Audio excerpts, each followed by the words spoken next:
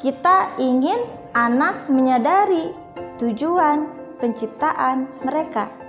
Karena itulah yang akan menjadi bekal baik ketika mereka hidup maupun setelah meninggal.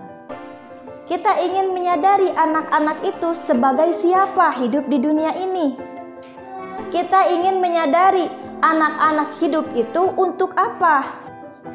Allah sudah menuntun muslim mendapatkan jawaban apa tujuan hidup manusia. Hianatnya kita, hianat paling besar itu ketika ketika kita punya visi misi tapi tidak sesuai dengan apa yang Allah inginkan. Allah punya visi misi, Allah punya tujuan. Kita diciptakan untuk apa? Tapi tiba-tiba kita tidak sesuai dengan apa yang Allah inginkan. Kan itu khianat.